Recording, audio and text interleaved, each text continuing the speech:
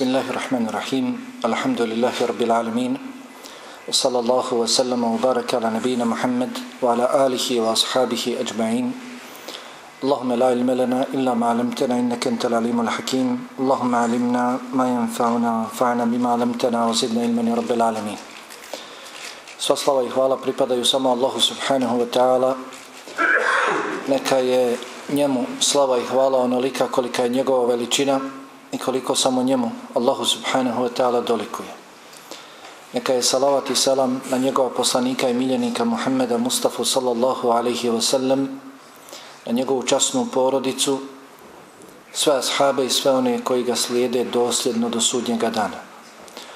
Allahu Jalla Vala na početku i na kraju ponizno i pokorno se vraćamo i svjedočimo da nemamo drugog znanja osim onog znanja kojeg nam On podari svoje dobrote, blagodati i milosti pa ga molimo subhanahu wa ta'ala da nam tu svoju dobrotu, blagodat, milost prema nama poveća da nam podari korisno znanje znanje od kojeg ćemo se okoristiti, svoj život popraviti a doista je Allah dželle Vala sveznajući, svemogući i mudri. Uz Allahovu dozvolu na ovim našim predavanjima u ovom našem i na ovom našem druženju. Govorit ćemo o putevima i razlozima koji vode do dženneta. Koji vode do dženneta kuće spasa koju je Allah Vala pripremio za svoje bogobojazne robove. Kuće koju svi priželjkujemo i kojoj se svi nadamo od Allaha Đallavala. Ako pitaš za njen pod, njen pod je od šafrana. Ako pitaš za njen šljunak, šljunak u džennetu, ono je od biserja i drago kamenja. Ako pitaš za zidove dženneta, zidovi dženneta sazidani su od cigla, jedna cigla od zlata, druga cigla od srebra. Ako pitaš za krov dženneta, pa krov je arš milostivog. Arš Allaha Jalla Stabla u džennetu su od zlata i srebra. Poznati su vam hadisi u kojima se spominje hladovina samo jednog stabla u džennetu iznosi koliko je potrebno brzom konjaniku da proputuje, da putuje stotinu godina. Allahu akbar. Stotinu godina. E, zamisli se. Koliko živiš? 30, 40, 50 godina. Koliko je to vremena? Pola. Od onoga samo da se pređe pola hladovine listovi tih stabala su od zlata. Iako su od zlata, mekši su od svile. Mekši su od svile. Plodovi slađi su od meda. Džennetske rijeke, kako nam Allah subhanahu wa ta'ala govori u Kur'an i Kerimu su od neustajale vode, od tekuće vode, od mlijeka koje ne mijenja svoj ukus, od vina od kojeg glava ne boli, i od procijeđenog meda. Nemaju svojih korita već teku po džennetu. Gdje god hoćeš skreneš je sebi. Džennetske rijeke. Džennetlije ulazit će u džennet u liku mladića. Dakle o mladinci muškarci i žene. Imaće 33 godine.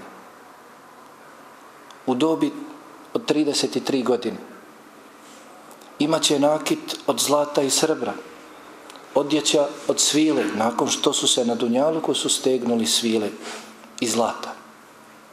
Kaže Allahov poslanik alihi salatu wasalam, kada bi se pojavio samo jedan od stanovnika dženneta sa svojim nakitom,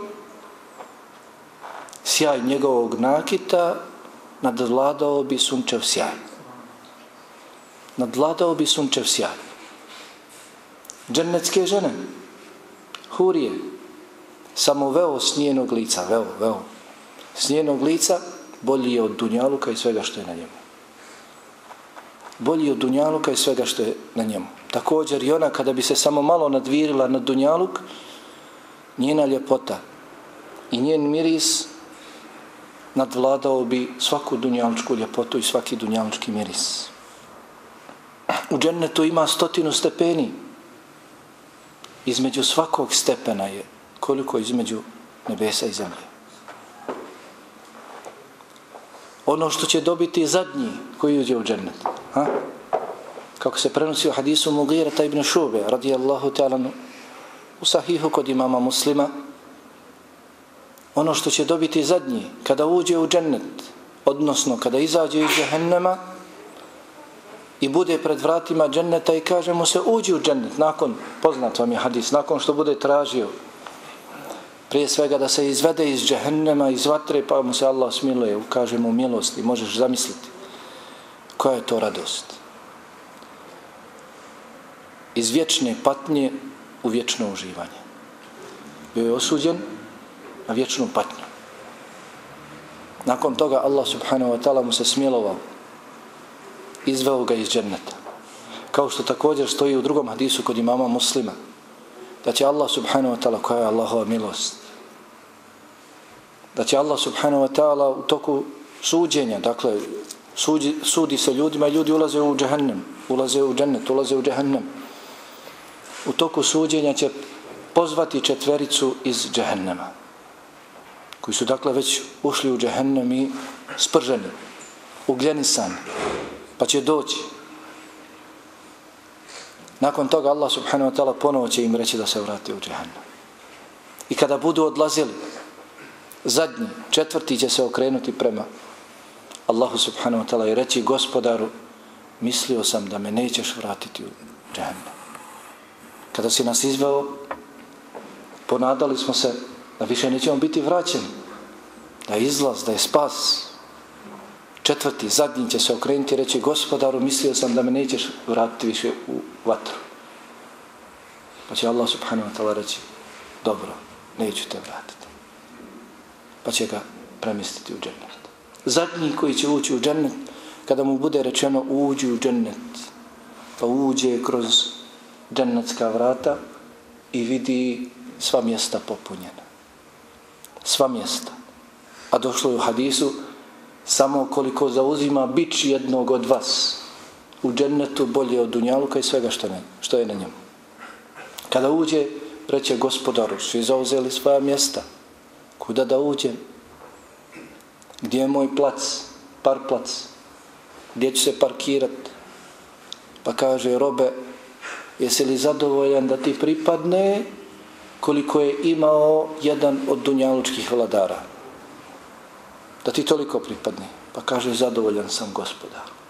Pa će Allah dželovala reći, pripada ti toliko, i još toliko, i još toliko, i još toliko, i još toliko. Pa će čovjek svaki puta govoriti, zadovoljan, zadovoljan, ne treba više zadovoljan.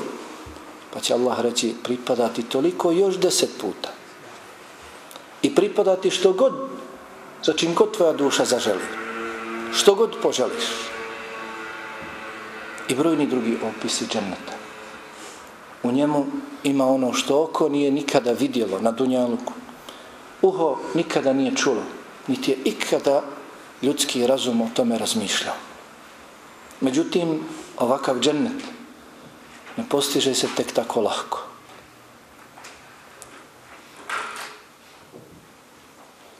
Već se postiže dijelima a dijelima se postiže Allahova milost, a sa Allahovom milošću na kraju ulazimo u džennet Sa Allahovom milošću ulazimo u džennet. Kome se Allah ne smiluje, nemamo ulaska u džennet. Međutim, sa, Allah, sa dijelima postižemo Allahovu milost. Zato trebamo se što je god moguće više upoznavati i ne samo upoznavati, već nastojati da je tih dijela što više u našem životu. وَتِلْكَ الْجَنَّةُ الَّتِي أُورِسْتُمُوهَا بِمَا كُنْتُمْ تَعْمَلُونَ I taj džennet, nakon što Allah subhanahu wa ta'ala opisuje ga, da će ući u džennet oni koji su bili vjernici u njegove riječi i koji su bili muslimani. udhulul džennete antum wa azvađukum tuhberun uđite u džennet vi i vaše porodce, vaše žene i radujte se u džennetu. Zatim Allah opisuje džennet, na kraju kaže to je taj džennet koji vam je dat u nasljeđe. Vi ste ga naslijedili zbog onoga što ste radili. Zbog onoga nešto ste priželjkivali, s čime ste se upoznali, za leđa poslije bacili, već zbog onoga što ste radili. Zato na svakom vjerniku i svakoj vjernici je da je što, god, što je god moguće više da se upoznaju sa tim dijelima koja vode do ovakvog, ovakvog dženneta. Zato ćemo uz Allahu dozvolu nešto na ovom druženju progovoriti, spomenuti nekoliko razloga. A takvih razloga puteva do ovog dženneta, ovakvih dženneta je mnogo. Ono što nam je najpreče, put kojim trebamo krenuti obavezno svi. Ne upoznamo li se s tim putem i ne budemo li krenuli tim putem, nećemo znati ni za druge puteve. Niti ćemo krenuti. Jer ono što čovjek ne poznaje, to i ne praktikuje, ne pridržava se toga. Glavni, dakle, put koji vodi do dženneta jeste znanje. Jeste znanje. Bez znanja ne možemo nikuda. Ne, nigdje nismo dospjeli. I na Dunjaluku vidite, dakle, koliko se vrednuje znanje. A pogotovo znanje kojim se traži ahiret. Ahireta ne može, ne može se doći do ahireta bez znanja. Poznat vam je dobro hadis u kojem kaže Allahov poslanik alihi salatu wasalam men seleke tariqan jeltemisu fihi ilma sahala Allahu lahu bihi tariqan ilal džanna koji zabere put da na njemu traži znanje Allah će mu na tom putu olakšati dolazak do dženneta. Allah će mu zbog tog puta olakšati dolazak do dženneta. Znanje, dakle, mora da bude kod nas. Međutim, kada se podučimo, onda tome moramo pristupiti. Moramo raditi po tome. Allah subhanahu wa ta'ala na početku svoje knjige odma u Kur'an i Kerimu u suri Al-Fatiha govori o dvijema skupinama. Jedna koja je imala znanje nije radila po tom znanju. A druga skupina koja nije htjela znanje radila po svojim prohtjevima, strastima i željama. Oba dvije te skupine osuđene su na propast na jedne od njih, na one koji su imali znanja, Allah se rasrdio. Jer su imali jasne dokaze pred sobom. Toliko im poslanika i vjerovjesnika dolazilo.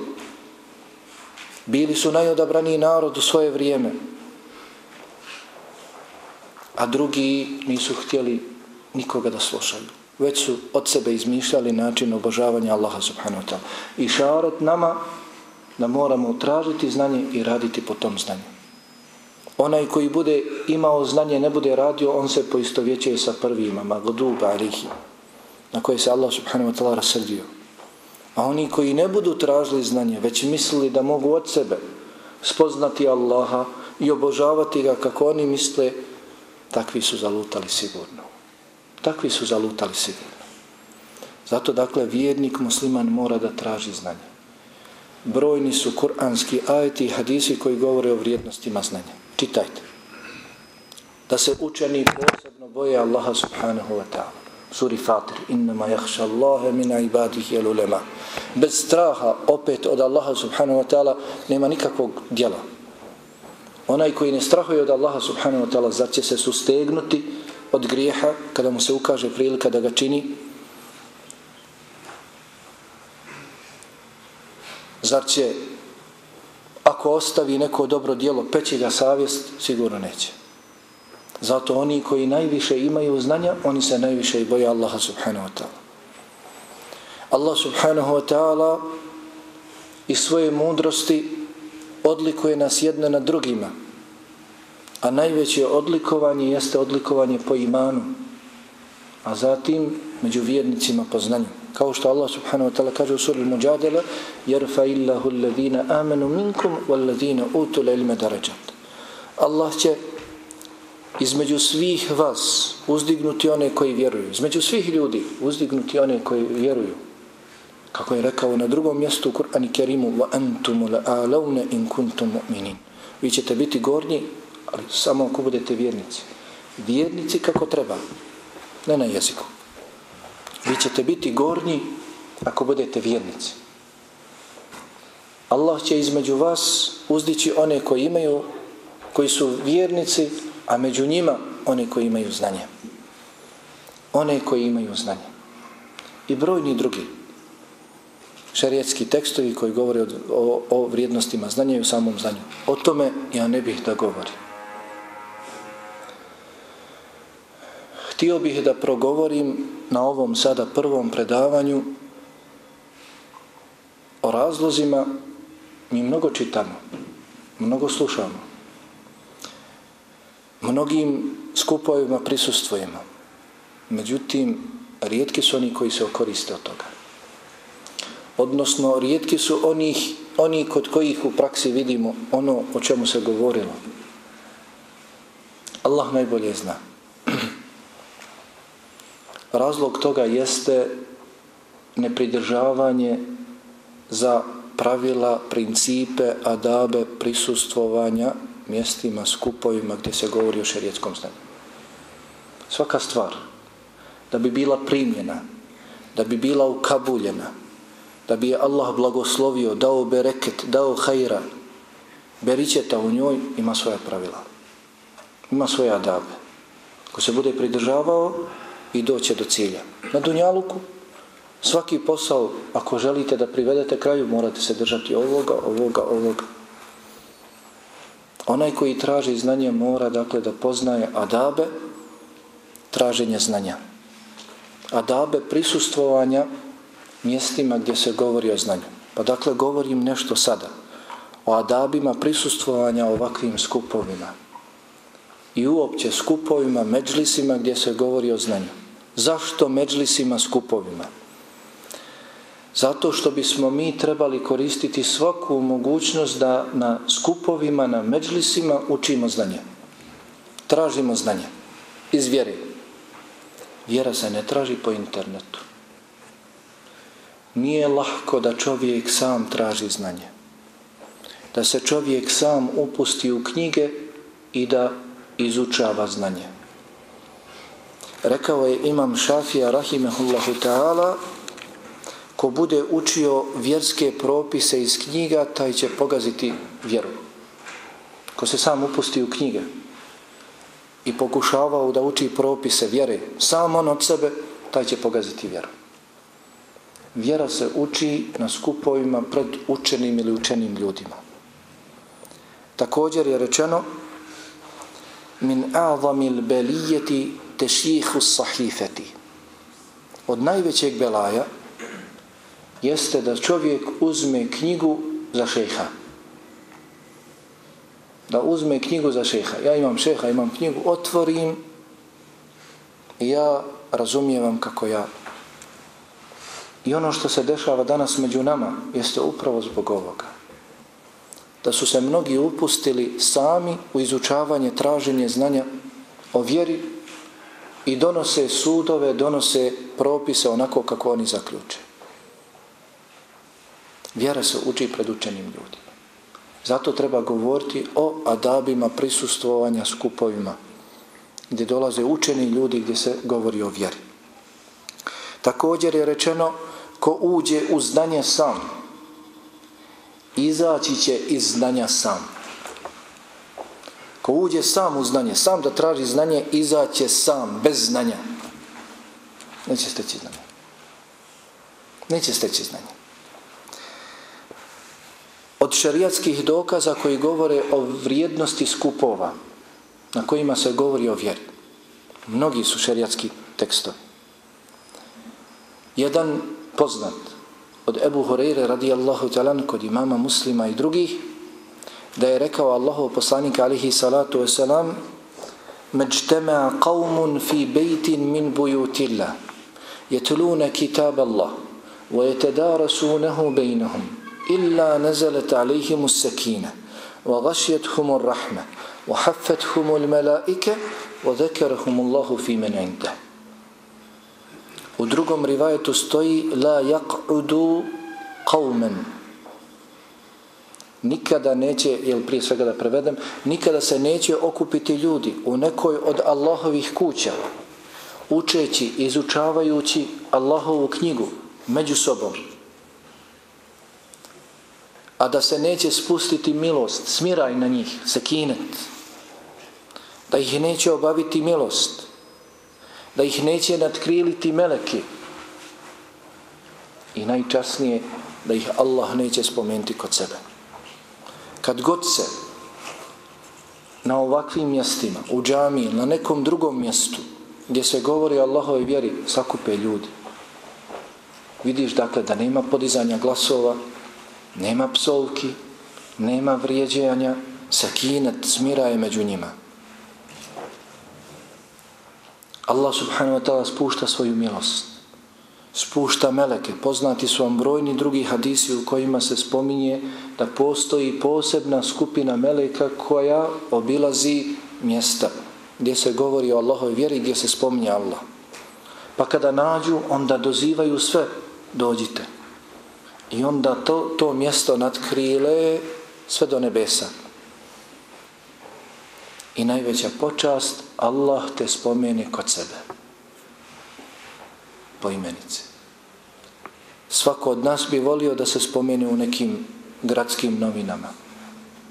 Da se o njemu lijepo priča. Većina nas, je tako? Da ne bježimo od naše stvarnosti. Nismo mi toliko bogobojazni da nam je hvala i kuđenje na istom stepenu. To je bilo kod naših prethodnika. Znali su dobro da im hvala može samo slomiti kičmu, leđa, da ih može upropastiti. Ali mi kakvi smo danas, vala, čovjek voli kad se pohvali. Zato trebamo voljeti da nas Allah subhanahu wa ta'ala pohvali i težiti tome. Jedan od načina jeste iskupljanje na ovakvim sličnim mjestima s ciljem podučavanja Allahovoj vjeri. U drugom rivajetu kod imama muslima dakle stoji općenito la yaq'udu qaumun yadhkuruna Allaha azza wa jalla. Nikada neće se sjesti ljudi, okupiti sjesti ljudi da spominju Allaha, da govore o Allahu, Allahovoj vjeri. A da neće se spustiti na njih sekinet, milost, obaviti ih, jeli, e, milost od Allaha subhanahu wa ta'ala i meleki i Allah ispomenuti kod sebe. Također od Enesa ibn Malika radijallahu ta'ala se prenosi da je Allahov poslanik alihi salatu wasalam rekao Ida marartum bi rijadil dženneti farta'u Kada budete prolazili, prolazili pored džennetskih bašći, sjedite i uživajte o njima. Pa su pitali, a koje su to džennetske bašće? Rekao je hilaku zikr. Mjesta gdje se spominje Allah, gdje se govori Allah jedna od džennetskih bašći jesu mjesta gdje se govori o Allahu i Allahove vjeri. Zato i zbog ovoga trebamo se okupljati. A ponajviše da bismo se podučili, podučili svojoj vjeri.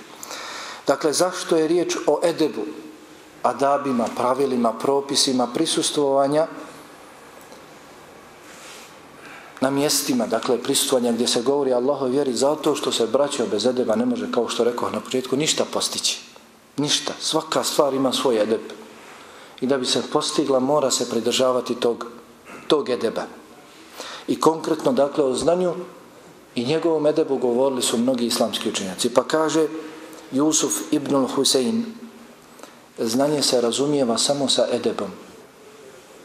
Znanje se razumijeva samo sa edebom. Postići ćeš razumijeti znanje, imati pri sebi znanje samo ako budeš imao edeba. Zakarija Lamberi, rahimehullahu ta'ala, kaže znanje bez edeba je poput vatre bez drva.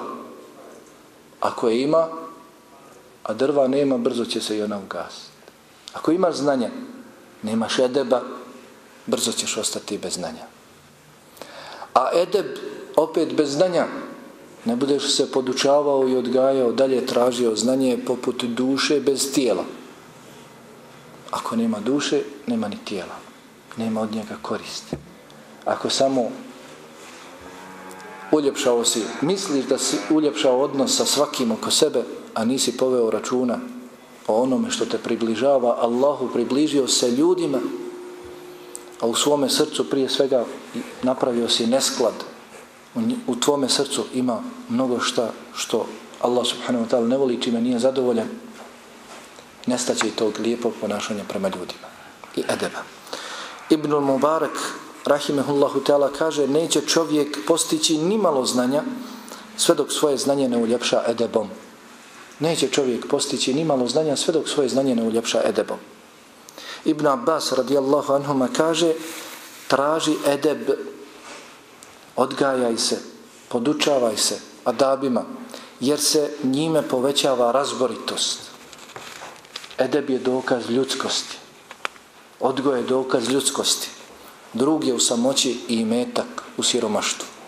Ako si odgojen ako imaš znanje makar bio i u teškoj finansijskoj situaciji siromaštvu Dakle, čovjek treba da traži znanje. Znanje je i metak, zasigurno. Makar čovjek i ne imao, bio u siromašnoj situaciji, ali ako ima, ime, ako ima znanja, ako je odgojen, to je dakle neprocijenljivo, neprocijenljivo blago. Pa dakle, govorimo nešto o tim adabima dolaska na ovakva mjesta i prisustvovanja ovakvim mjestima.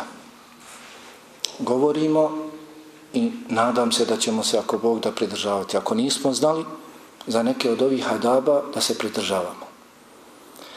Dakle, prije svega način dolaska na ovakve skupove. Onaj koji traži znanje i koji dolazi na skup da traži znanje, da uči znanje. A rekli smo da na ovakvim mjestima bi trebalo tražiti znanje. Ne tamo negdje sam, iz knjige, na internetu i sl.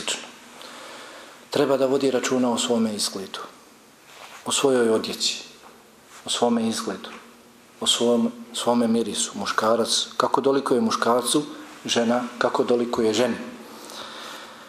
Također, treba da vodi računa o svojoj odjeći, da bude dakle pristojno obučen, ne tjesno, ne usko, ne kratko, ne sa slikama, pa da sa sobom povede i skupinu nevidljivu koja rastjeruje meleke i slično, Onaj koji traži znanje, njegovo ponašanje, njegov izgled mora da se razlikuje od onih koji ne traže znanje. Njegov dolazak na mjesta, skupove gdje se govori o Allahu i Allahove vjeru, vjeri, mora da se razlikuje.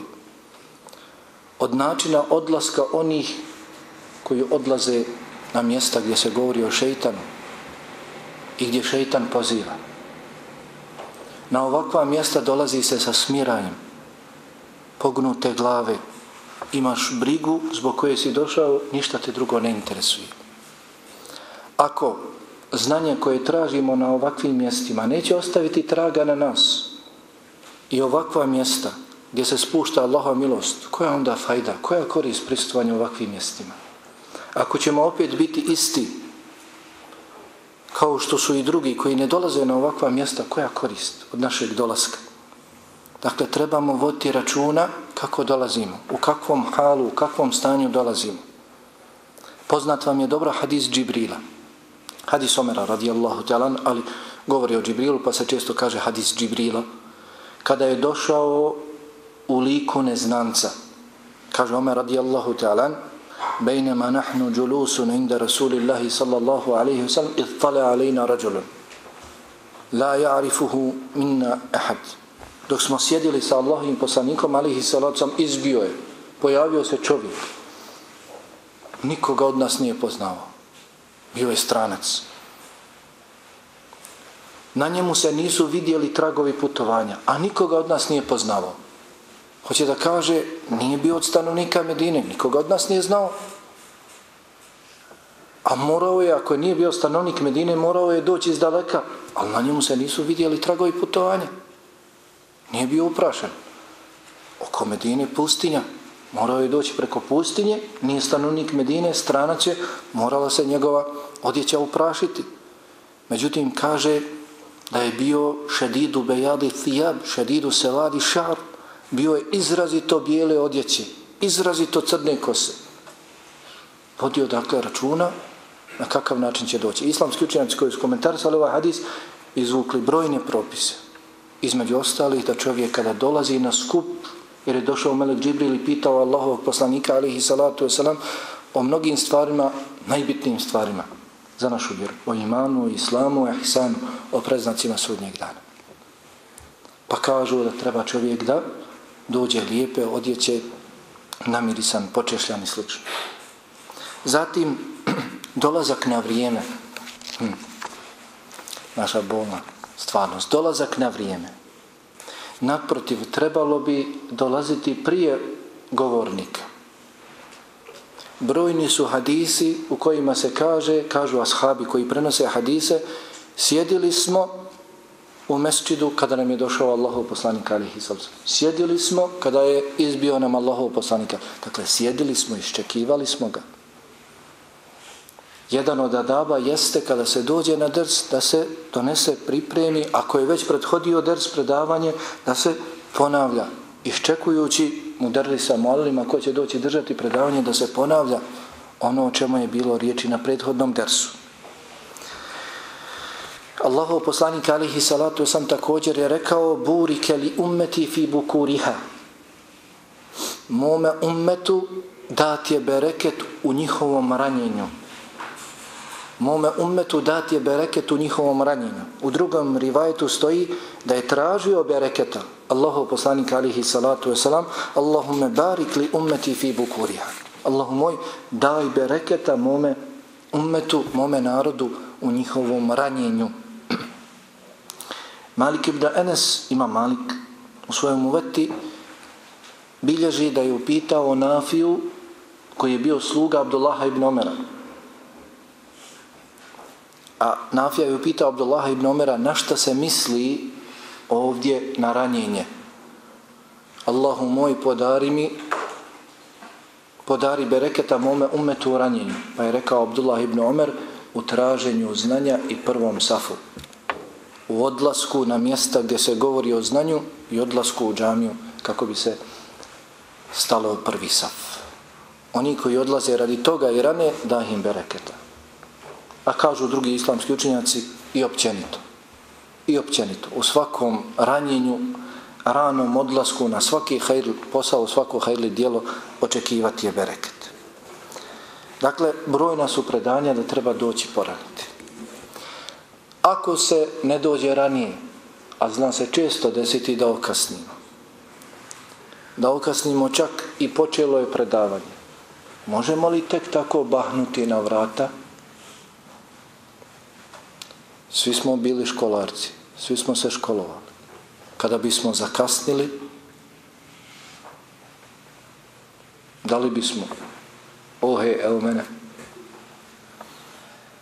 i na klupu svoju sjeli? Ne, već bismo kucali, pitali možemo li ući i pojasnili svoj razlog kašnjenja.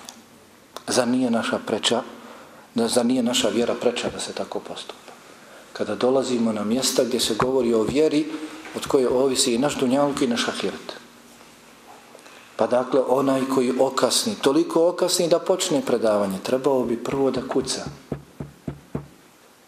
Zatim da traži dozvolu, da nazove selam, zatim da traži dozvolu da uđe. Prenose ashabi kako se kucalo na vrata Allahov poslanika alihi salatu sam. Vrhovima prstiju. Ne, vrhovima prstiju, kucalo se. Vrhovima prstiju. Onaj koji bahne u podersa prekida i predavača i one koji zapisuju prati. Koji gruha na vrata isto tako dekoncentriše ih. Od edeba dolaska na mjesta gdje se govori Allahoj vjeri je da se blago pokuca. Neko sjedi pored vrata, otvorit će. Prenijeće na neko kuca. Zatim će mu se dozvoliti da uđe. Dakle, da pokuca. Zatim da nazove selam, mako on bio. I trebamo se podučavati ovim propisima. Safvan ibn Umeyje, jedan od mušrika Mekke, nakon što je Allahov poslanik alaihi salatu sam ušao u Mekku, oslobodio je, nakon izvjesnog vremena Safvan ibn Umeyje prihvatio islam. Bio je jedan od mušričkih vođa ali je prihvatio islam. Kolebao se nakon toga, poznatom slučaju, jeli, kada mu je Allaho poslanik alihi sallam ponudio dolinu. Nakon jedne od bitaka došlo je ogromna ganima, ratni plijen Allahovom poslaniku alihi salatu wasalam i Allahov poslanik sallallahu alihi sallam sve je to stavio u jednu dolinu. Dakle, i stoka, jeli, deve, ovce i ostalo i ostali imetak. A Ebu Vahb Safvan ibn Umeje volio i metak, strastveno. Pa ga postavio ispred sebe Allahov poslanik alihi salacom i prati ga. Kaže, Ebu Vehbe, je li te divi i metak, šta kažeš, on sav zapjenio. Cijeli svoj život proveo u gomilanju i metka. Kaže, ja šta? Ja šta nek divi? Koga ne bi zadivila? Puna poljana. Kaže, Ebu Vehbe, dolina i sve što je u njoj je tvoje. A? Kaže, dolina, dolina i sve što je u njoj od imetka je tvoje. I kaže Ebu Vehbe, ašhedu en la ilaha illallah, ašhedu en Muhammeda Rasulullah. Prije toga, rekao je, daj mi dva mjeseca da razmislim o svome primanju Islama. Pa moj poslanik Alihi Salusam dao četiri. Međutim, dolazi ova bitka i ratni plijen i to sve njemu dolazi. Kaže, nema potrebe da čekam četiri mjeseca. Sada. E taj Safvan ibn Umeje, dakle, friško primio islam i dolazi jedne prilike Allahom poslaniku Alihi Salu sam nosi mlijeko da se poslanik sallallahu alaihi sallam napije. I ulazi. Ulazi na vrata, ne traži dozvolu, kaže, irđe, faqul assalamu alaikum a adhul vrat se nazovi selam i pitaj mogu li ući frišak čovjek u islamu ne zna propise ali treba da se nauči vrati se nazovi selam pitaj mogu li ući Ebu Hureyre radijallahu talan kaže ne dajte dozvolu ljudima da uđu. Kada pokucaju, ne dajte im dozvolu da uđu dok ne dođu s ključem, dok ne donesu ključ. Kažu šta je ključ? Assalamu alaikum. Pa nazovu selam. Kada pokucaju, neka nazovu selam, zatim neka pitaju da uđu. Zatim im se i traži dozvola. Dakle, onaj koji zakasni treba na ovakav način da postupa.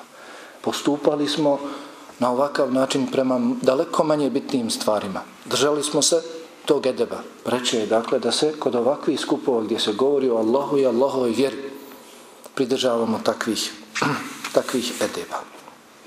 Zatim od adaba koji, o kojima moramo povesti računa jeste da učenijima i starijima dajemo prednost. Da učenijima i starijima dajemo prednost na mjestu oko onoga koji izlaže, koji govori predavanje. Bliže predavaču trebali bi biti stariji, učeniji. Brojni su hadisi u kojima se spominje da je Allahov poslanik alihi salatu wasalam davao prednost starima. Brojni, kod Buharije, kod muslima i kod drugih autora hadijskih zbirki, kada bi mlađi postavljali pitanja, Allahov poslanik alihi salatu wasalam bi govorio kebir, kebir, daj stari, daj stari, neka stari. Zna se kome je prednost. Prvo se starijima daje prednost, a pogotovo, dakle, učenim. Abdullah ibn Abbas radijallahu anhuma pripovijeda da je rekao Allahov poslanik alihi salatu wasalam el bereketu ma ekabirikum. Bereket je s vašim starima. Bereket je s vašim starima. Mi omladina nismo ni svjesni koliko čovjek se okorištava u društvu sa starim ljudima. Zato nas nema s njima.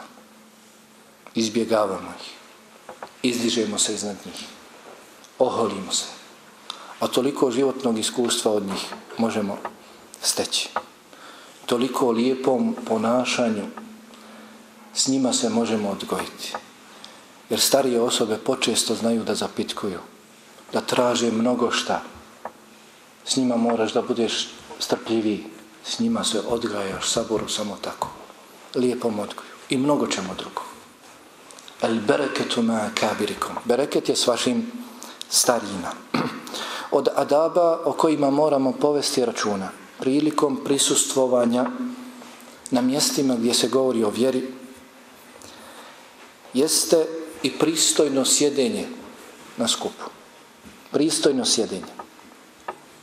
Kako bismo trebali sjediti? Kako bismo trebali sjediti? da se sjedi smireno, dostojanstveno. Kaže se mutarabban, po turski, jeli? Ili na koljenima. Jer se prenosi u brojnim rivajetima ovaj događaj, slučaj Džibrila kada je došao da je sjedio na jedan ili drugi način. Na takav način je sjedio. Po turski ili na koljenima. Trebali bismo i mi, i mi sjediti. Nije u redu da se ispruže noge. Ni prema predavaču dok se vazi, dok se govori, niti inače. Prenosi se da Allahov poslanik sallallahu alaihi wa sallam kada bi kod Kabe obraćao se Kurejšijama, pozivao ih u vjeru, da su bili naslonjeni svojim leđima na Kabu i noge ispružili, pričali, govoriti kome hoćeš. Kada sjedimo, između ostalog, na takav način se poistovjećujemo s njima. Ko bi volio da se poistovjeti s njima? Sjedi se po turski ili na koljenima u mesčidu. Nije u redu da se naslanja na bilo šta. Nije u redu. Jer time čovjek gubi zasigurno jeli koncentraciju. Ne bi se trebalo mnogo pomjerati na svome mjestu, što bi naš narod rekao vrtiti se. Ne okretati se, dakle, naigrati se. Mnogi od nas, ja se nadam i tražim opravdanje i ne, ne prozivam nigdje nikoga, uzmu telefon i slušaju predavanje, hajde ja se nadam, pišu na telefon predavanje. Teško držati kalem olovku, teška olovka, pa pišu na telefon. Ali mnogi znaju malo pratiti predavanje, malo na Facebooku tamo prelistavati nove vijesti. Nije to u redu. To je dokaz koliko vrednujemo znanje i kako da se poslije okoristimo tog znanja. Kako da nam Allah dadne bereketa. Dolazimo ne da čujemo, već da poslušamo. Da to slušamo i da poslije radimo po tome. Neće nam Allah dat bereketa ako ne vrednujemo to, to znanje, zasigurno. Ne bismo, dakle, trebali na takav način postupati, jer možda, ako već mi toliko nam nije bitno takvim svojim postupcima dekoncentrišemo one oko sebe, koji su možda došli da zapišu, da nauče, da se podsjete, je li slično. Trebalo bi se okrenuti prema onome koji drži vas, prema učenom. Ako se može približiti i gledati ga u lice, to bi bilo najbolje. Melek Džibril, kako se spominje u ovom hadisu, došao je toliko Allahom poslaniku, alihi salatu sam, da je prislonuo svoja koljena uz njegova koljena i gledao u njega. Prislonuo svoja koljena uz njegova koljena i gledao u njega. Stavio svoje ruke na svoja stegna i postavljao pitanje i slušao iz njegovih usta. Dočekivao odgovor. Tako bismo trebali mi. Ne bi trebalo negdje sjest okrenice na drugu stranu, već u najmanju ruku prema predavaču. Ako ne možemo tako blizu da sjedemo, barem da se okrenemo prema njemu.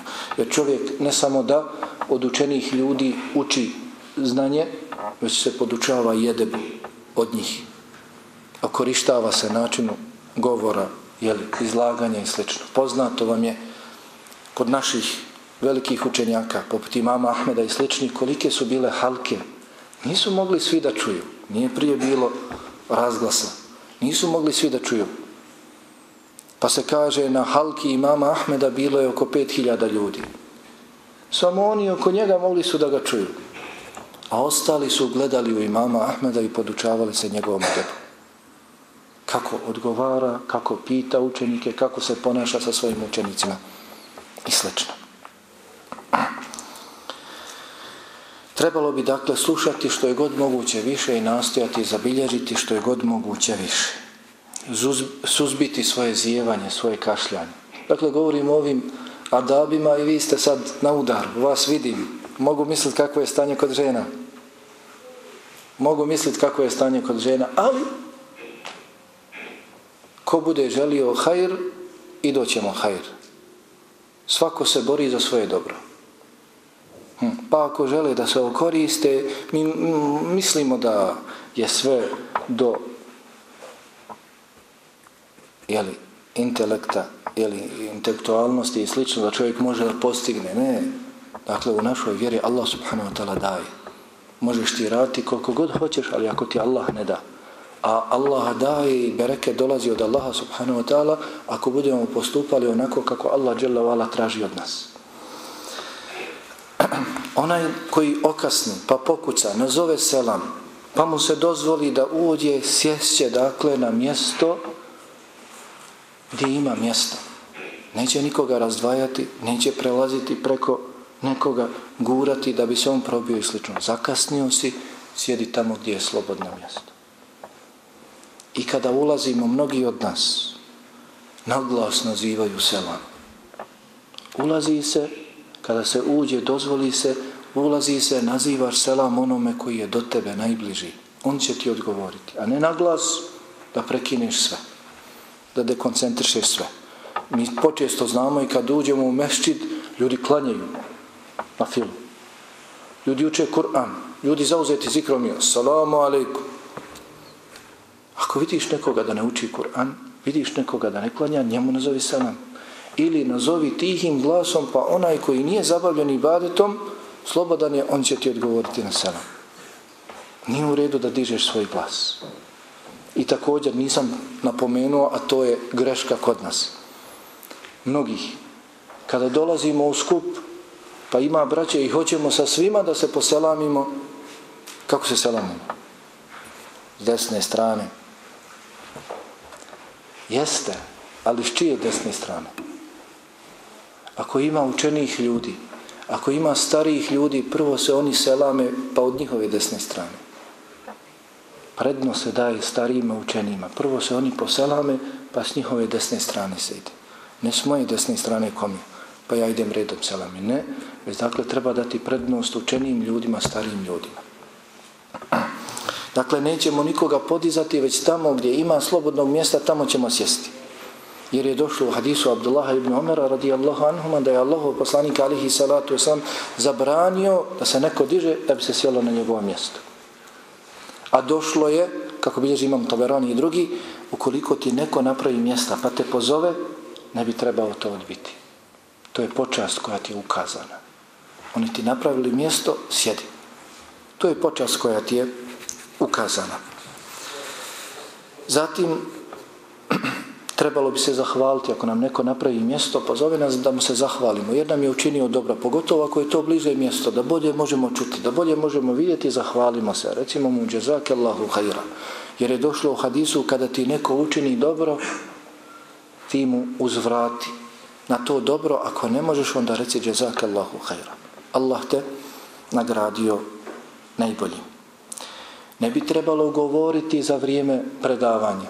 Onaj koji govori jeste predavač. Mi ne bismo trebali govoriti. Prenosi se u hadisu Ebu Saida al-Hudrija radijallahu ta'alan sjedili smo u mesčidu kada nam je došao Allahov poslanik alihi salatu wasalam ponašali smo se kao da su nam ptice na glavama. Bili smo mirni i slušali. Nismo se vrtili, nismo dizali glas, niti niti. Ponašali smo se kada nam se obraćao kao da su nam ptice na glavama. Bili smo mirni. Hm.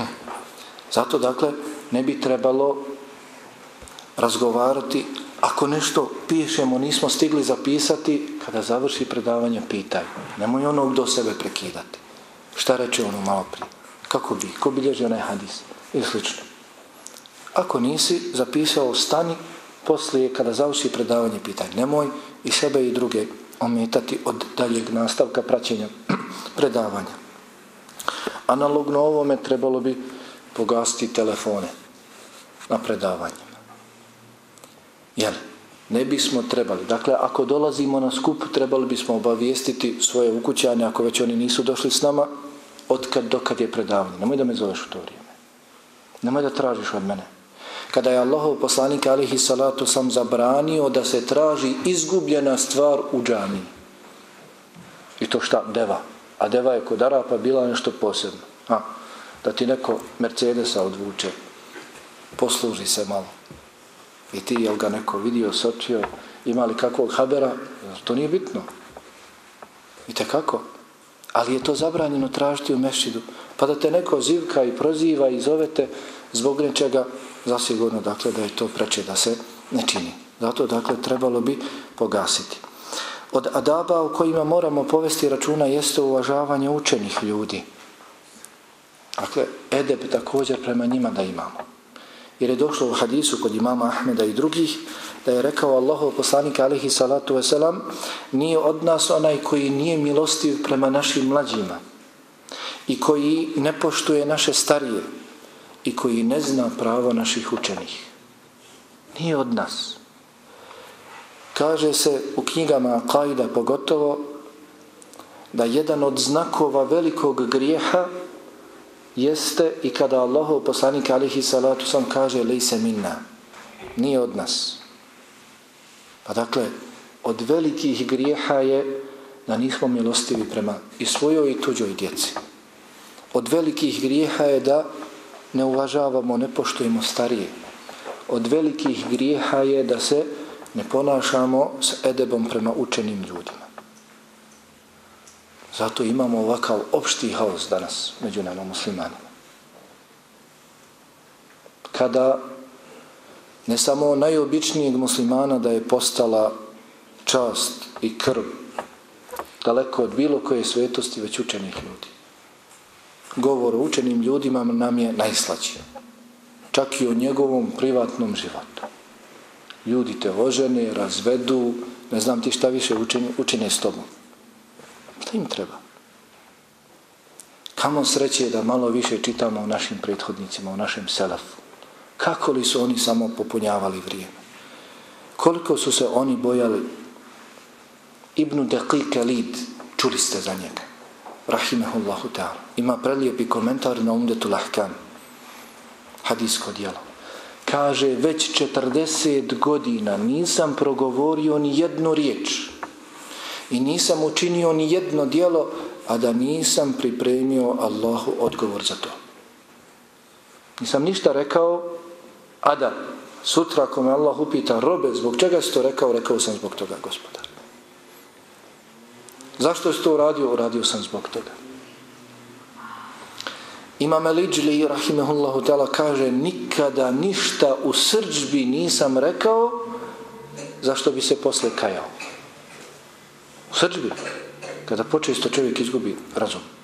Ne vlada sobom ali su oni vladali sobom, nisu govorili ono zašto bi se posle kajali. Mi u blagostanju, noga preko noge, u svinđam kafe, govorimo mnogo šta zašto se posle kajemo i tekako. Zašto se posle, poslikajemo. Zato dakle treba da poštujemo naše učene. Kako poštivati naše učene da ih volimo? Da prijateljujemo s njima. Jer su to posebni ljudi nasljednici vjerovjesnika. Zar nije rečeno innal ulama warasatul anbiya doista su učeni nasljednici vjerovjesnika. Zar nije rekao Allah dželle vala u suri Ali Imran Šehid Allahu ennehu la ilaha illa huwa wal malaikatu wa ulul ilm. Allah svjedoči da nema istinskog Boga, dostojnog obožavanja osim njega i svjedoče meleke i svjedoče učeni kažu komentatori Kur'ana da je bilo boljih ljudi od učenih ljudi Allah bi ispomenuo. U čemu? U najvećoj stvari. Najveću stvar svjedoče Allah, meleki učeni ljudi. Pa trebamo ih voljeti. Trebamo biti svjesni hajra kojeg se možemo podučavati i naučiti od njih. Kao što kaže Ibn Abdel Bar, rahimahullahu ta'ala, učen čovjek među nama, među običnim ljudima je poput rodne palme, stalno spadaju plodovi snijega na nas. Stalno nas okorištavaju. Dakle, trebamo ih voljeti. Trebamo prijateljevati s njima. Ali opet, to treba da ima svoju granicu. Ima ljudi koji toliko vole učene ljude da prelaze granice, da ih izdižu, da zbog njih uspostavljaju s drugima prijateljstvo i neprijateljstvo da nikoga više ne voli, samo njih. Ima i drugih učenih ljudi. I druge učene ljude treba poštivati i uvažavati. Jeste taj možda pred kojim sjediš, s kojim se najčešće družiš, ko te najviše Allahovom dozvolom ukorištava, njega najviše voliš. Ali to ne znači da ne trebaš nikoga drugog da voliš od vjernika. Trebaš. trebamo ih poštivati i uvažavati, trebamo se čuvati strogo njihova omalovažavanja, ponižavanja, ni podaštavanja. Trebamo se strogo čuvati optuživanja učenih za grešku. Čuj, molim te. Ja da tražim nekom učenom grešku. To znači da sam ja učenio od njega. Ja mu našao grešku. Pa kaže ovaj, davno sam ja završio s njim, kafir. Šej Husemin, šej Bin Baz, šej ovaj ili ona. Ja sam davno završio s njim. Tu je pogriješio, tu je pogriješio. Ja selam. Učen čovjek.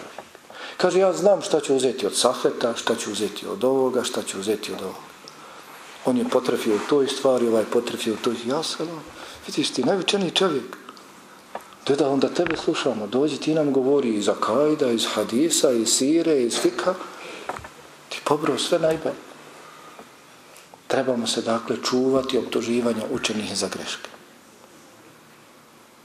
Jer počesto mi postavljamo pitanja na koja treba dati fetvu. Na ovakvim skupovima i sličnim skupovima počesto dolaze pitanja na koja treba dati fetvu.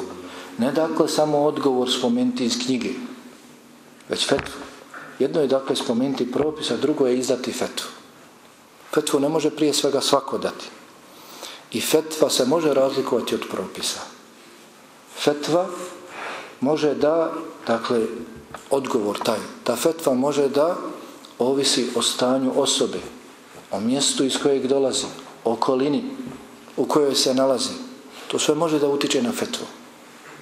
Ibn Qayyim rahimahullahu ta'ala ima opasan govor onima koji samo otvore knjigu i kaže tako, tako je propis.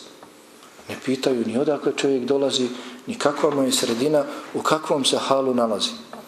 Zar nisu Allahom poslaniku alihi salatu sam dolazili ashabi, trojica, četverica i postavljaju ista pitanja, dobivaju svi isti, svi dobivaju različit odgovor. I jedan, i drugi, i treći. Poznavajući njihovu stvarnost, u kakvom se halu nalaze. Poslanik sallallahu alaihi sallam tako im je odgovarao. Pa nekada čovjek izda fetvu, dakle, taj koji je sposoban, koji se upusti u izdavanje fetvi, izda fetvu, mi mislimo pogriješio. Čovjek vodi računa o ovim stvarima. Mi tamo otvorimo, pa vidi, u knjizi ovako stoji, a on nam rekao tako. Čovjek izdaje fetvu, koja dakle može da se razlikuje od vremena do vremena, od osobe do osobe. Jer zato nemojmo žurti da ih optužujemo za greške. Pa ako se i utvrdi da su pogriješili, pa dobro, ljudi su kao i svi mi. Kullu beni Adam hattava, khairu hatta'ina tawabun. Zar nije rečeno u hadisu? Svi ljudi, Ademovi sinovi su grešnici, a najbolji od onih koji griješe su oni koji se kaju. Pa ukoliko pogriješe, tražimo im opravdanje. To nam je obaveza tražiti obično muslima, od kojeg se možda nešto posebno i ne korištavamo, A pogotovo od onoga od kojeg se okorištavamo, trebamo tražiti od njega, za njega trebamo tražiti, za njegove greške, opravdanja. Kažu naši prethodnici, traži bratu opravdanje, pa ukoliko mu i ne nađeš, reci, sigurno ima, ali ja ne mogu da dođem do toga. Ne mogu ja da otkrijem. Sigurno ima. Nije mogao čovjek tek tako da kaže da to i to uradi. Sigurno ima opravdanje zato što je rekao ili uradio. Dakle, sve u svemu trebamo imati na umu vrijednost takvih ljudi. Koliko su nam oni dragocjeni, koliko nam koriste, koliko nas okorištavaju, pa ukoliko i pogriješe svo ono dobro koje smo dosta stekli od njih, vagati to dobro sa tom greškom. Od adaba u kojima moramo povesti računa jeste bolna naša stvarnost. Pisanje, izlaganje. Pisanje za učenim ljudima. Allah subhanahu wa ta'ala zar nije spomenuo kalem u svojoj knjizi na nekoliko mjesta. Naprotiv, čak se zaklinje kalemom. Što ukazuje na važnost kalema. Allahov poslanik alihi salatu sam tražio od svojih ashaba koji su znali pisati da pišu objavu. Da pišu hadise. Da pišu njegove vazove, njegove hutbe. Tako su došli do nas hadisi. Dolazi ashab koji je najviše prenio hadisa od Allahovog poslanika alihi salatu wasalam, Abdullah ibn Amr ibn al-As. Prenio je najviše hadisa zato što je pisao. Ebu Hureyre radijallahu ta'ala najviše je prenio hadisa pamćenjem. 5374 hadisa. Pamtio. Ali kaže, kamo sreće da sam ja pisao. Abdullah je pisao pa je prenio od mene više hadisa. Zapisao više hadisa. Dolazi Abdullah ibn Amr ibn As pa kaže Allahov poslaniče, kažu mi da ne pišem svašta od tebe. Jer i ti se kao i svaki čovjek naljuti se, rasrdiš se. Pa nemoj pisati, kažu za poslanikom kada je srdit. Pa kaže, tako mi onoga učio je ruci moja duša, piši. Doista iz ovih usta ne izlazi osim hak. Piši. Tražio je da piše. Pa na oprosnom hađu dolazi Ebu Šah, nakon što čuje hutbu na oprosnom hađu, kaže Allahov poslaniće, ja to ne mogu zapamtiti, daj da mi neko zapiše, pa kaže zapišite mu. Tako bismo trebali i mi da pišemo što je god moguće više za onim ko nam dakle drži predavanja. Neki od adaba prilikom pisanja dakle nastojati zapisati što je god moguće više ili barem ono što je najbitnije. Nastojati da zapišemo što je god moguće više predavanje ili barem ono što je najbitnije. Pisati jasnim, razgovjetnim rukopisom kako bi ono što se zaboravi s predavanja mogli pročitati. Ima ljudi koji ne mogu pročitati svoj rukopis. Šta ti vrijedi od tvog pisanja? Ono što smo čuli, vremenom ćemo zaboraviti zasigurno, ali ako smo pisali tečno, razgovjetno, moćemo se podsjetiti u najmanju ruku. Ako nismo, šta nam vrijedi takvo pisanje? Ako snimamo, nećemo to nikada poslušati, niti barem nekoga drugog koristiti njemu proslijediti. Šta nam vrijedi od takvog snimanja?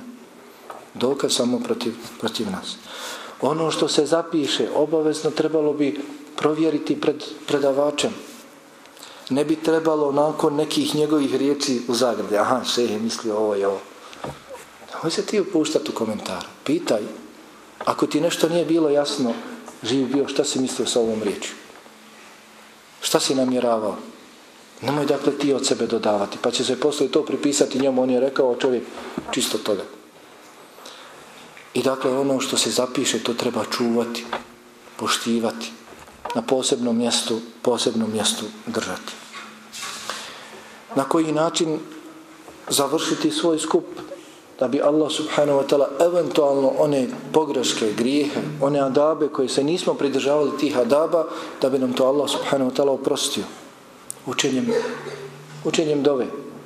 Kako je došlo u hadisu? Neće se čovjek nalaziti na nekom skupu i činiti grijehe, griješiti na tom skupu, pa da kaže koja dova? Subhanak Allahumma bihamdik, šadu an la ilaha illa anta astaghfiruka wa atubu ilaik.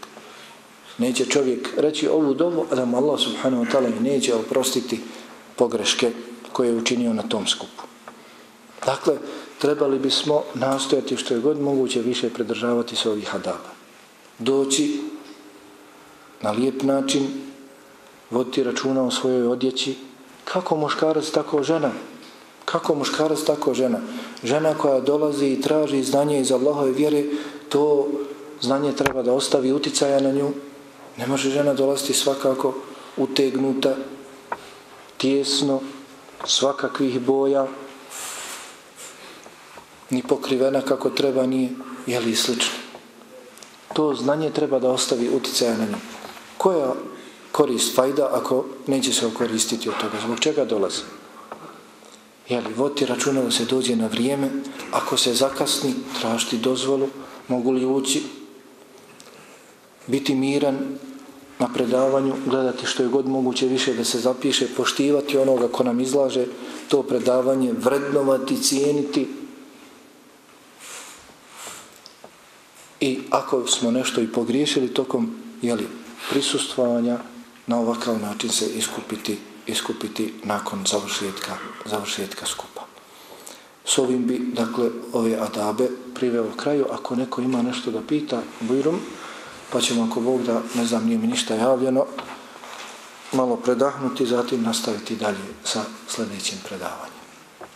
Dakle, jedan od puteva do dženneta je zasigurno traženje šerijetskog znanja.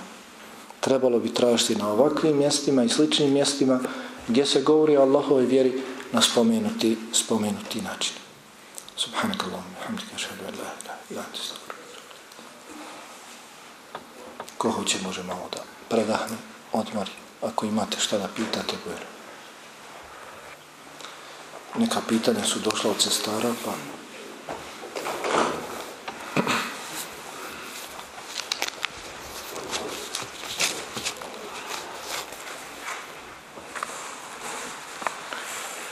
vi nemate ništa pitati. Došlo je ovako pitanje. Ženi koja gasuli, da li je dozvoljeno da ogasuli ženu koja je šija, šitkinja? Rumunka, ne znam zašto spominje, ili čak ako nije klanjala. Da li je dozvoljeno onoj koja gasuli da kupa, dakle druge ogasuli, pa makar ona bila šitkinja, rumunka ili čak ako nije klanjala. Što? Svi rumuni nisu muslimani. Dakle, propis se vraća, je li musliman, nije musliman. Dakle, propis kupanja muslimana i nemuslimana po pitanju muslimana, dakle, poznato je obaveza, kao što je obaveza, jeli, da mu se klanja dženaza, obaveza je da se kupa, da se umota u ćefine, izuzev, dakle, šehida, jer on se niti kupa, niti umota u ćefine, niti mu se klanja dženaza. Svima drugima koji umru, u, a nisu, dakle, poginuli u borbi direktno, makar umrli od onih bolesti za koje im se kod Allaha subhanahu wa ta'ala obećava stepen šehida, svi su oni i gasule umotavajuće fine, klanje im se dženaza. Dakle, vjernici, na takav način se postupa s njima. S nevjernicima, većina islamskih učenjaka je stava, dakle, da se takva osoba ne kupa. Da se takva osoba ne kupa. Malikije, Hanbelije i ostali učenjaci, mimo šafija, stava su, dakle, da se takva osoba ne kupa. Šafije su Imam Šafija i njegovi učenici kasnije su rekli nema smetnje. Može se dakle i nevjernik u osnovi koji je nevjernik može se okupati. Pa čak dakle i onaj koji otpadne od islama. Oni su bili takvog stava. Međutim, većina islamskih učenjaka je stava da se takva osoba ne kupa. Kaže šejh Muhammed ibn Salih al-Usaymin vraćajući se na riječi Allaha subhanahu wa ta'ala jer kada govori o munaficima, o nevjernicima, da Allahov poslanik alihi salatu wasalam ne klanja im dženazu, da ne stoji na njihovom kaburu, da ne dovi za njih. Wala tusalli ala ahadim minhum ebeda, wala takum ala qabri. Nemoj da, dakle, da klanjati nikome više od njih. Ovaj ajet govori o munaficima. Kada je Allahov poslanik alihi salatu wasalam klanjao Abdullahu ibn Ubeju ibn Selulu, je li tako? Kada mu je klanjao u dženazu, pa nakon toga došao je ovaj kuranski ajet. Pa kaže, ukoliko je zabranjeno klanjati nevjerniku dženazu, a umrla osoba najviše koristi ima od dženaze. Je li tako? Dženaza se klanja osobi kako bi se, dženaza je dova, kako bi se dovilo, tražilo od Allaha subhanahu wa ta'ala oprosta milosti za tu osobu. Pa ukoliko je to zabranjeno nevjerniku, dakle ono od čega bi on imao najviše koristi, onda sve drugo od čega ima manje koristi preče da bude zabranjeno. Preče da bude zabranjeno. Dakle, onda i kupanje i umotavanje u ćefine, dakle, zabranjeno je muslimano. Zabranjeno je muslimano. Dakle, ja neću da ulazim šija, rumunka i ostalo, šta to znači? Ta koja gasoli kupa, ona treba da zna jesu muslimani nisu muslimani. Postoje malo kod braće alergija, jel čim se kaže šija, odmah misle nevjernici. Ima šija koji su vjernici, ima šija koji su nevjernici. Vraća se dakle na riječi, na dijela, na objeđenja kakva imaju pri sebi. Čovjek može izaći iz vjere sa objeđenjem, sa riječima, sa dijelima ima šija, ima učenjaka veliki koji su bili šije. Od kojih mi uzimamo stavove pojedine. Dakle, bili su ta najblaža struja šija. Zajdije. Čuli ste? Imam Šalkan je bio. Imam Šalkan koji ima jedan od prelijepih komentara na Allahovu knjigu Fethul Kadir. Neilu Lautar. Jednu skoro od najboljih hadijskih knjiga, komentara na hadis, hadijsku knjigu. Al Muntaka. Dakle, ima. Međutim, dakle, šta je tada u njihovo vrijeme, ko su bile šije, šta je to značilo, to je drugo, dakle.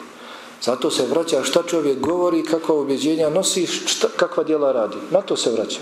Nije dozvoljeno nikoga generalizati, generalizovati. Ako govori riječi nevjerstva, ako dakle, govori sa znanjem, sa ubjeđenjem, jeli nije prisiljen na to ili čini djela, dakle, ne mora znaš ako se kaže šija da je nevjernik. I ako se kaže da je rumunka. E sad ovdje pitanje jedno, ja ću pročitati, ali ne bih volio da se upuštamo. Bilo je govora kako vaktije koje koristimo nisu ispravne. Pogotovo vrijeme sabaha. To je potvrdilo nekoliko daija, među kojima magistar Ljakić i šeh doktor Kuduzović. Ljakić je na jednom dersu rekao da je najbolje vaktiju preračunavati na stranici ili ova Islamic Finder, to je ova Sjeverna Amerika, tako? Po toj vaktiji ja se orijentišem. Međutim, jacija je tu 15 do 20 minuta poslije nego u džami. Tako da moj muž ne može klanjati u džamatu ako bi pratio tu vaktiju. Što se ona brine za njega, ja sam. Ono, on se ne brine, on ne pita. Isto primijetimo da daje prate vaktiju džamata u koji dođu. Džamata u koji dođu. Šta je ispravno uraditi? Pratiti tu ili arapsku vaktiju to što su šejhovi Jakić i Kuduzović, magistar i doktor Kuduzović, to su oni rekli i mogli su da kažu samo za Bosnu. Nisu oni mogli da kažu za vas. Jer su izlazili i pratili namanska vremena u Bosni. I na osnovu tog svog praćenja oni su uporedili sa postojićim vaktijama i vidjeli koja je otprilike najbliža. To ne znači dakle da se može prenijeti na vaše stanje. Trebalo bi ovdje da neko izađe i prati kao što su i oni pratili. Da izađe i da prati kao što su oni pratili. I ne znači, dakle, oni ako su izašli, ne znam, u ljeto, da dakle te promjene, to odstupanje ili, ili ti termini, namanski vaktovi, da su tokom cijele godine isti odstupanje. Dakle, trebalo bi pratiti više puta u godini, u različitim jeli, godišnjim dobima. I to bi, dakle, trebalo učiniti ovdje. To bi trebalo učiniti ovdje. Jel, na takav način utvrditi. Da sada, da li se može postupiti po spomenutoj aktiji, ja se ne bi upuštao u to. Crna kana je zabranjena, ali da li se može pomiješati malo crni sa crvenom, da bi se dobila tamnija boja? Može i treba. Safet Kuduzović, šej Safet Kuduzović, doktor, pričao je na jednom dersu o odjeći i ukrasima za muškarce. Pa je spomenuo crvenu boju. Između ostalog spomenuo je hadis da je poslanik sallallahu alihi wasallam zabranio sedam stvari, jel, naredio sedam i zabranio sedam.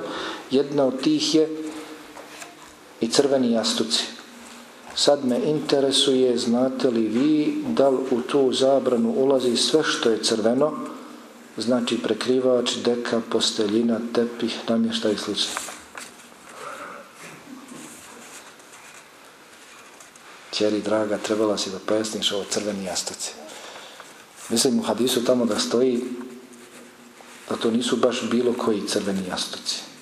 Prije svega da se misli od svile i onda oni koji su crveni, i da se to misli dakle na u tadašnje vrijeme ono što se stavljalo na konje sjedlo, sedlo i što se stavljalo na deve. A osim toga, dakle, svi hadisi koji govore o crvenoj boji, odjeći crvene boje, jel, kao odjeći muškaraca, o njima ima govora, ima spora dočim vjerodostojni hadisi kod Buhari i kod muslima, u njima se spominje da je Allahov poslanik alihi salatu salam oblačio crveni ogrtač i nikada niko nije ljepše viđen i viđen dakle u ljepšem dijelu od Allahovog poslanika alihi salatu sam kada bi oblačio jeli, crvenu todiću. Tako dakle da nema smetnje, nema smetnje dakle da se koristi prekrivač deka, posteljina i ostalo crveno. Pogotovo ako će žena ležati i hodati tim tepijom. To je to, dakle, to je došlo četiri pitanja od sestara. Malo nešto. Zagrijavanje.